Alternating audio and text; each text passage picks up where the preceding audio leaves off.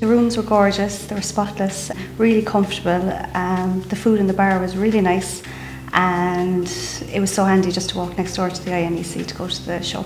I'm a Brehon bride. I had my wedding here three years ago, um, three and a half years ago, and I, I have a soft spot for the place. It's our first time here.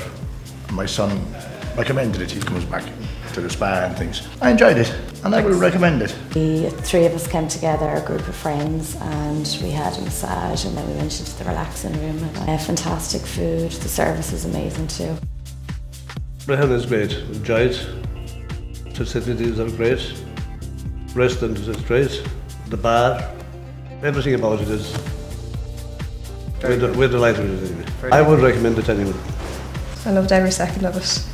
And, like we had room service one night and that was so nice because we arrived late in the evening and even though we were late for room service they still brought it up to us no bother no problem like Excellent. the next morning we went to the spa and it was just heaven like it was so nice I thought it was very relaxing, you know, there's no problems, anything we wanted, it was catered for by the staff. I think for space of room it certainly is, is better because the, the rooms are a larger size and there's more space especially if your suitcases and stuff. Yeah, just yeah. the extra space in the room is really good. The uh, walk-in uh, closet. Yeah, yeah, and the robe and the and yeah, the slippers. Yeah. it's really good. Yeah. It's our main place to come for a break. Are We eating the bar and the food is gorgeous. Yeah, yeah great quality, great value Service for money. Service great as well. Yeah. Um, beautiful. Really impressed with it. It's my first time here. and We'll be back.